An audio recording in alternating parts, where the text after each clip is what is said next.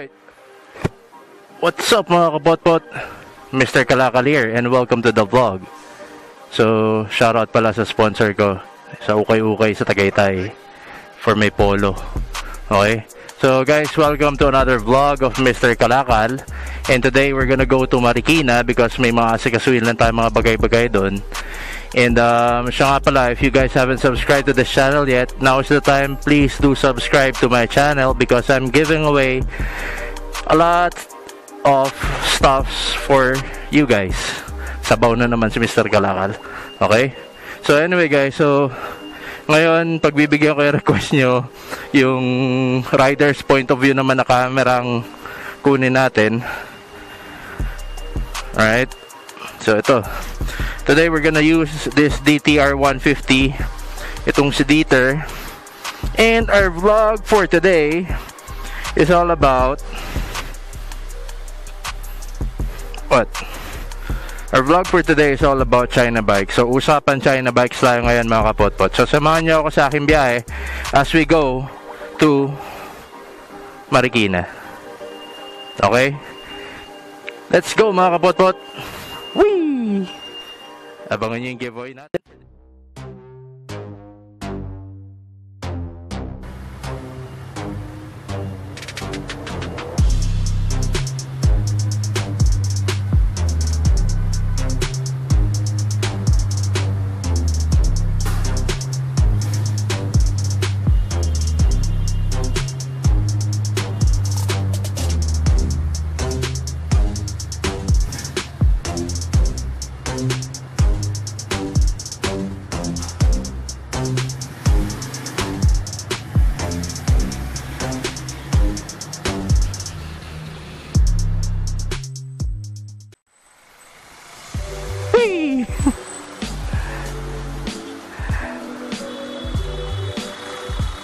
C5 C5 Libis Alright, what's up mga kapotpot? It's me, Mr. Kalakal And welcome to the vlog Ano ba naman yan MX-5? What do you wanna do?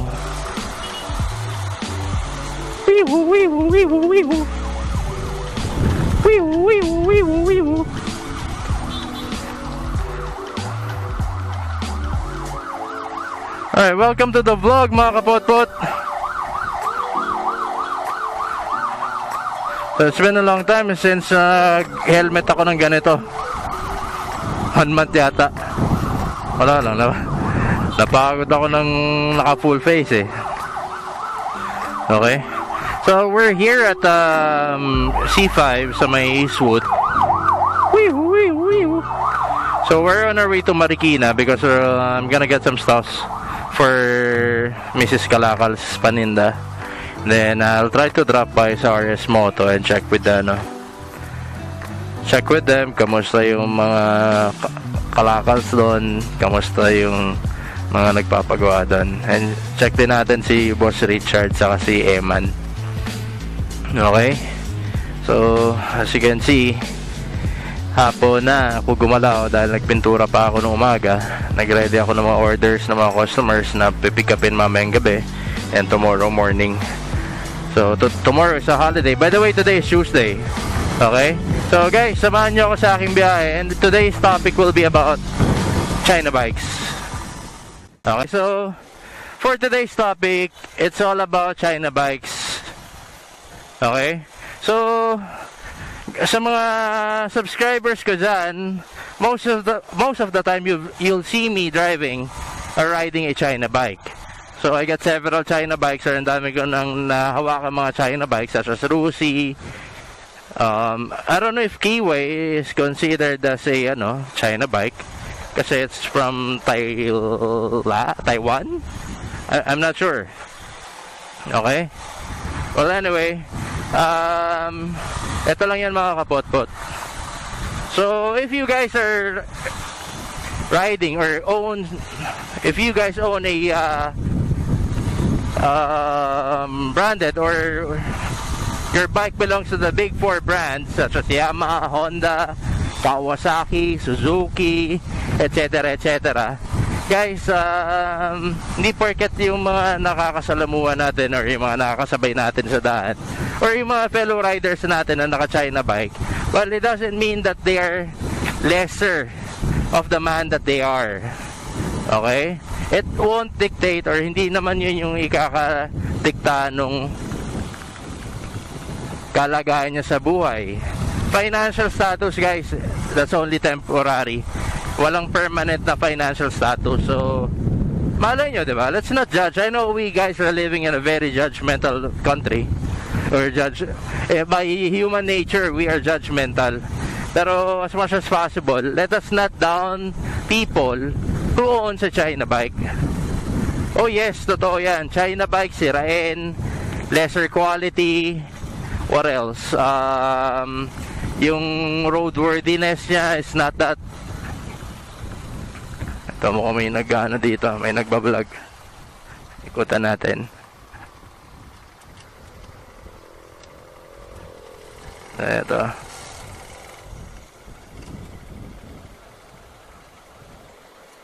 Ang pogi naman yan, sir.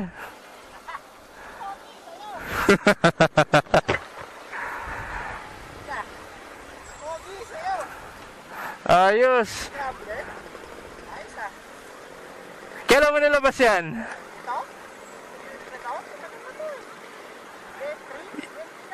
Oh, yan na yung may ano, 'di ba? Yung Euro 3.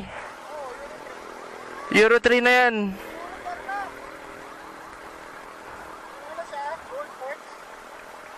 Kamusta yung handlebar mo? Hindi ka pa nangangalay? Sanay pa. Okay ba? Okay ba? Mas gusto kong ganyan, Che, kaysa sa Sa, nagba-vlog kasi ako. Sakto na may dada, ang, usa, ang kwento ko about China bikes. Ru Rusi Classic to. Ito, China bike din to eh. Nadaan ako, sabi ko, Pogi no RC250 na brown. Naka-vlog ka, nasa vlog ka. Mr. Kalakal sir, subscribe ka. Ayos yan. Sige sir, nice bike. Mr. Kalakal. Yes sir. Wala ka bang sa shoutout dyan? Uh, Nag, nag ano ko, full face ako ngayon na nagre-request subscriber na gusto daw nila yung kita naman yung minamaneho ko. Oh, ayaw na nila yung ganyan-ganyan. Okay. Mr. Karakan. Woo, baby. Sige sir. Okay, nice meeting you. Ride safe. Bye-bye. Mga ngalakal ako dyan sa bayan. Napadaan lang ako dito. Sige sir, bye-bye. Okay.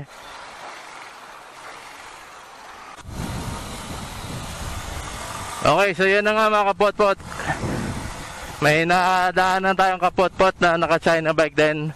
Which is yung Rusi Classic 250 na napaka-pogi talaga. Okay? So, yun, going back to the topic, instead of ano, yung demoralizing yung ka- mga tao. I know this will be a self-serving video since I drive a China bike. Pero instead of, uh, I'm talking in general ah. So instead of demoralizing riders who owns a China bike, eh, i-uplift pa natin sila. Let's make them feel good, guys. Let's make them feel good. Let's compliment their bikes. ba? Why? Guys, kahit, so, eto ah, bigyan ko kayo ng example.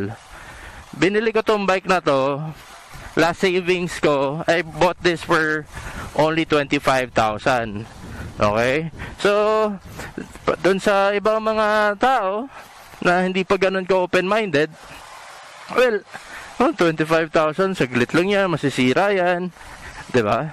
So, imagine niyo I, I, I received that comment from uh, several people. So, nagulat sila, 25,000 lang yung bike ko. So, mas maigi pa hindi ko sinabi kung magkano dahil they were thinking all along that this is a expensive bike. ba? So, eh, kahit pa paano na naapektuhan ako. Na butik yan, pinaghirapan ko yan, last savings ko yan, then sasabihin na pangit, 'di ba? So, na-demoralize ako, medyo na, na, hindi naman naapektuhan buong pa- pagkatao pero yun nga. Instead of um, putting negative vibes to the community, let's uplift people. Sabi ko nga dun sa ibang video ko eh, video. sa ibang video ko, let us inspire other people. Let's uplift them, encourage them. Okay? Maaring sa ngayon, ito pa lang ang kaya ko. Or kaya ng mga naka-China bikes. Pero later on, mag-upgrade din eh. ba? So, let's not put that hate on them. Kasi ito yung mga taong pag galing sa China bike, let's say for example, ito naka-China bike ako ngayon, then bigla ako nagkaroon ng uh, expensive or um, yun nga, hype beast na motor. Then, dun, dun, since traumatized ako or demoralized ako with the concept of if you ride a China bike, eh, olats ka. So, ganun din mangyari i-demoralize ko rin lalo yung mga naka-China bike na hindi ko alam na doon din ako nang galing. Something like that. So, let, let us uplift uh, everyone as much as possible. I know this is impossible. Okay. Know this is impossible. Sa mga pinagsasabi ko, Sir Kalakal, maging realistic nga. Pero, sabi nga ni Gina Lopez, pwede pala. Pwede din pala magbago ang uh, human nature of being judgmental sometimes doing good deeds to others by uplifting them, giving them compliments, will boost their day. Okay guys, so yun na nga, inabutan tayo na ulan kanina sa Concepcion. So balik lang tayo sa topic natin about China bikes. Now, napag-usapan natin kanina yung moral ng China bike. Now, let's talk about how do we maintain our China bikes. Okay, so we have to accept the fact that yun nga, less superior or lesser quality ang isang China bike. So, ito yung it requires more attention than the regular or the uh, coming from the big four brands na bike. When I say it needs more attention, it needs more tender loving care. Prevention is better than cure. Sige na. Prevention is better than cure mga kapotpot. So, when when I talk about um, TLC or tender loving care of a China bike, so ito yung first off, you need to have a physical checkup. When I say physical checkup or physical inspection, physically you check the bike. Every time you ride the bike or before you ride the bike and after you ride the bike, you conduct a, or you perform a physical checkup check nyo if may lumuwag na tornilyo, higpitan nyo, check nyo if may tagas, check nyo yung tires nyo. Pero sa China bikes guys, lagi natin kailangan ng check tornilyo. Okay? So like for this bike, itong CPI DTR 150 natin, when I got this, ang luluwag ng tornilyo. And uh, in due time, eh, nagluwagan na rin yung mga tornilyo, which is on my last vlog, eh, pinigpitan ni Jason ng Rosie Junction. Okay? So, sukod sa, so, eh, after the physical checkup, if you're not familiar with the bike or if you're not a technical or mechanical or whatever na, na tipo ng tao, bring your bike to your trusted mechanic. Like for me, ang trusted mechanic ko is yung uh, si Eman from RS Moto and si, Ru si Jason sa Rusi Junction. So, once in a while, pinapacheck ko if I have the time, dinadala ko doon. Or every, uh, every before ride ko na malalayo, eh dinadala ko muna yung bike ko doon para ma-check nila. Okay? Ano ba naman itong na to? Okay, so aside from that, next is yun nga, yung oil. Yung oil natin guys, um, dep- depende sa ano, kung uh, ano yung displacement natin. For 150cc, I put 1 liter of uh, engine oil. Okay? So, ang gamit ko is yung Mobile 1. Pero on, on my next change oil, I would like to try the ano, I would like to try the Delo Gold. Okay? So, ano ang change oil natin requirement? Well, um, ako, I see to it that every 500 kilometers eh, nag-change oil ako. Yun yung way ko of tender loving care or yung TLC ko na tinatawag. Hindi ko na pinapabot ng 1,000. I see to it that every 500 kilometers nag-change oil ako. Magkano lang naman change oil? 200, 220, 270. Depende sa langis na ginagamit nyo. Kaysa naman mag-overhaul ng makina, di ba? So, yun. Good oil equals good engine. Okay, ito yung dating school ng anak ko, Cherries. Yung teacher to. So, yun. Okay? So, yun lang naman ang mga dapat nyo tandaan sa ano?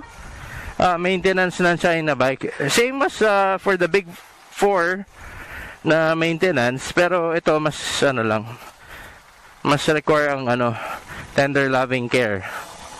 Okay? So, yun nga. Now, pag, let's talk about naman yung ano, um, top speed. Well, wag kayo maghanap ng top speed or yung performance sa isang China bike. Uh, of course, all bikes, may it be Yamaha, Suzuki, Honda, Kawasaki, KTM, Rusi, Kiway, Bajaj, whatever the brand is, eh, meron talagang performance yan. Okay? The mere fact na umaandar yung makina, it performs, di ba? Pero yung top speed, guys, yan nga, um, like ito, hindi ko ma mapatakbo ng mabilis. Ang top speed na nakuha ko dito is 80-90.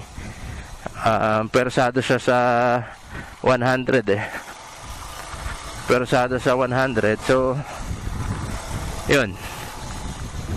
Dahil muna tayo kay Ares Moto ha.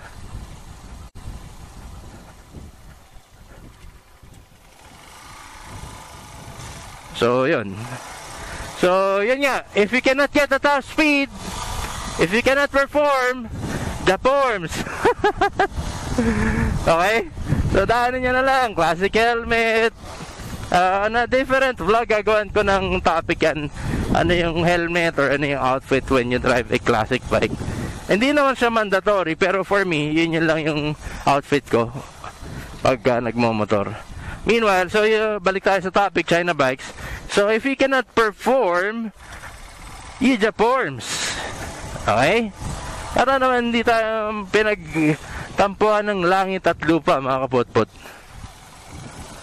Hindi tayo pinagtampuan ng langit at lupa. We may have a cheap bike, pero, di ba? Hindi naman kailangan expensive yung suot natin. Like ito, yung suot ko, yung polo ko is 80 pesos or 100 pesos okay-okay sa Tagaytay sa may Olivares. Ayan. And, yan. Sana huwag ka na muna tumuloy ng ulan, please. Marami pa akong gagawin today. So, yan lang guys. Uh, mamaya pagdating ko ng Ares Moto, balikan ko kayo. Yun lang ang aking per se sa China bike. Uh, it doesn't have to be ano very long explanation. That alone will serve its purpose sa aking paliwanag. So kayo mga kapotpot, do give me or please share your opinions or your insights with a, a China bike. Kung ano na naging karanasan niyo sa China bike, ganyan, ano yung mga dapat i-consider if you if you're driving a China bike, okay? So for the meantime guys, balikan ko kayo. Biyahe muna tayo papunta kila Richard. Bye-bye.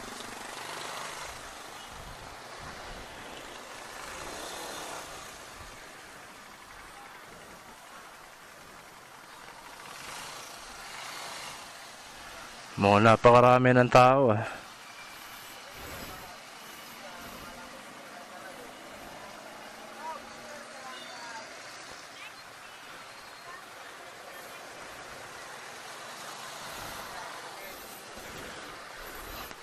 Busy-busy tong mama na to, nagkakabit siya ng box. ah. Y- Ganyan, ah, napakayaman nitong taon to ha, pero tignan mo siya gumagawa. Napakayaman yan. Siya gumagawa mga kapotpot. So, huwag kayo mayan pumunta dito sa Ares Moto.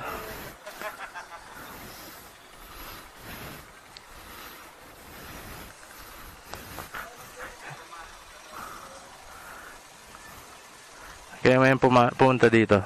Palit lang ang camera mga kapot. Alright guys, so sobrang tagal na. It's been a long time since I last visited RS Moto. So, nandito tayo ngayon sa RS Moto. Papakita ko lang sa inyo ano yung mga bago sa shop niya, ano yung mga display niya doon mga paninda. Okay? So, ayan o. Kita niyo naman, punong-puno ng mga shot na mga top boxes dito. So, let me just give you a walkthrough nung anong in stock ngayon ni Boss Richard dito sa RS Moto. So, yan. oh. helmet. Nag-restock na naman siya. Ang ganda nito. oh. Helmet. Yun. So, 2.9 lang. Wow. So, motored helmet to. Sa mga naka-motored. Wow. Ayan o. Ganda rin ng pink. Very summer yung kulay oh. Ganda. Ayan. So yan, mga HJC meron din. Yan, yung mga top box niya. Ito, nakalera yung mga sec helmet niya. Ito rin. Ito, ang ganda nito guys. So, for those who are looking for their classic helmet, ito. Half face na shield helmet. Ayan, very elegant yung design niya. White stitching, para simple. Uh, gloss black siya. Sukat natin. Carbon din sila. oh. Ayun oh. Ganda.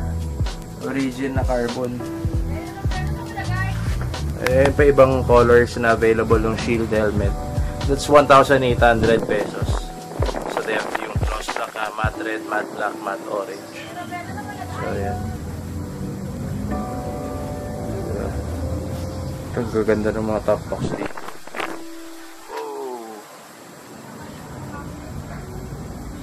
Diba? Meanwhile, sila tayo sa labas. Ano yung mga ginagawa ng mga boys? So, as you can see, may Cafe Racer 152 dito. Nagpapamodify. Nagpapakostom ng bike. So, yan. Tinabas na ni Eman yung uh, frame nito.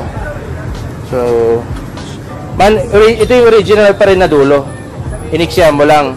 Tapos, ano pang ginawa mo dyan? Sige nga, pakipaliwanag mo. Napalodo. Tapalodo. Nasaan yung tapalodo niyan? Wala pa, pinipinto na ako. Yung katulad ng sa akin yan? Nag- Naku, nakausap mo si Bruto? Saan ka nakakuha? wala. Wala siya nabigat. Saan ka nakakuha? Kay Simon. Wala, wala. Mo lang. Sa... Gumawa ka na. Oo. So, yan. Yung upuan nito, wala pa. Wala pa, mamaya pa rin. Okay, so yun nga guys. If gusto niyo magpo-custom ng motor, dalhin nyo dito kay RS Moto. Ito si Emma ng bibirada yan. Galing magtabas-tabas yan. Okay. So, at the same time, they also have a decal shop dito. RS Moto has a decal department. So, dito ko papagawa yung sticker natin ng Mr. Kalakal. So, email ko lang sa kanila yung file para makuha ko na. Ayan, oh. So, ayan. Sila gagawa ng sticker ko. Discount. So, pag kailangan niya rin ng mga stickers, sila rin yung nag-decal nung ano. Sila yung nag-de- nag-decal nung DTR 150 natin. Yung makikita niyo yung print stripe natin sa gilid ng tangke. Ayan, sila naggawa niyan. So, these are the bikes here. Sa RS Motor. Ayan. Okay. Eh, man, kamusta ka naman? Tagal natin hindi nakita. How are you, my friend? So, bago pa rin. Lagi sumasakit ang ngipin. Si Bolo, bumata dating na. Coco Martin na ang dating yan ah. Ako na yan. Kuko ni Martin. Martin ba? Oo, oh, Coco ito, Cardo. Bakit kayo ka lang napunta rito? Ngayon lang sinipag magmotor. So, yun. Anyway guys, so again, RS Moto is located in Sumulong Highway in front of Petron and um, beside ICCT. Okay? So just look for Richard or yung Facebook link nila nung RS Moto is posted on the description box down below. Okay? Meanwhile, Sabi na na kay Richard, bye-bye.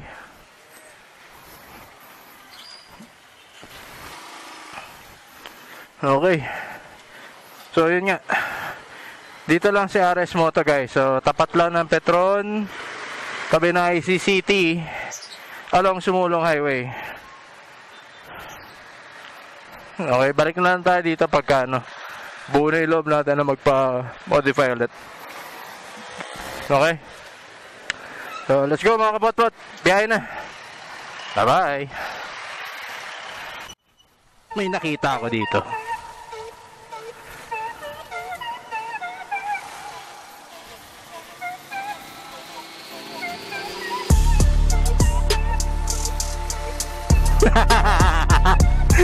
Ha? Marikina. Valeria? Bonnie? Okay. Ah, dati na to. Bye-bye. Ganda. Tapos Papa Lem. Siya yung tattoo artist natin. Ilang beses ka na rin siya na-feature sa mga vlogs natin mga kabotbot.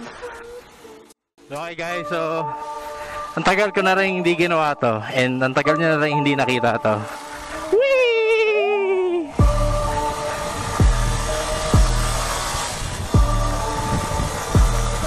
Ortigas Avenue. Whee! Ay, ang saya-saya. Pero traffic eh. Yun lang guys. Corny. Konti lang yung kaligayahan natin. Anyway guys, so Ortigas Avenue na nga tayo. Uh, this is the traffic situation of Ortigas Avenue yung papunta ng Mega Mall at this moment. Alright mga kapotpot, so na-miss niyo yung video nang umakit tayo ng condo no? Anyway, so dito na tayo. May masabi lang eh. Andito na tayo sa condo. Wait lang. Init. So, dito na tayo sa condo guys. Sakit na muna tayo. Then, naalala ko na meron pala akong giveaway sa video na ito.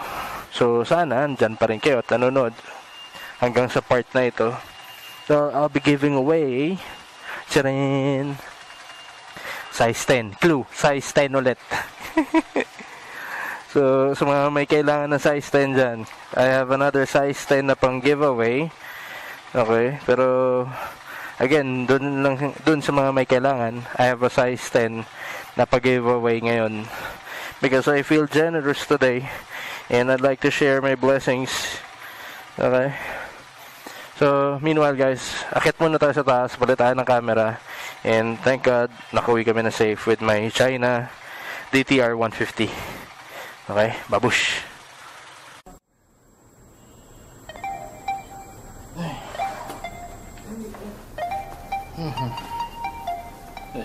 Saan po mga kapot Wait lang.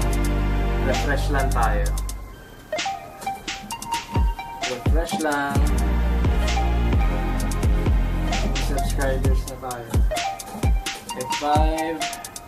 So, it's been a long day for me guys. So, wish na po eh, ang init. Punta nga, naka-long sleeves. Uy, wow, 3,853. Alright guys, so, thank you ah. Thank you sa mga nag-subscribe. So, recap lang tayo ng activity natin today. So, we went to Marikina. May mga kinuha lang ako mga items for uh, Mrs. Kalakan. And at the same time, during my travel, is na kapag-discuss tayo about yung China bikes. So, yun guys. So again, sana uh, na-inspire ko kayo regarding the China bikes uh, branding. So there's nothing wrong when you drive it or when you ride a China bike or when you own a China bike. And it, again, it does not mean na yun na yung papel mo or yung social standing mo sa mundo or dito sa ating community. Okay, so I also visited our friend from RS Moto, si Sir Richard. And uh, pinakita ko sa inyo yung mga gamit niya ngayon doon, mga paninda niya.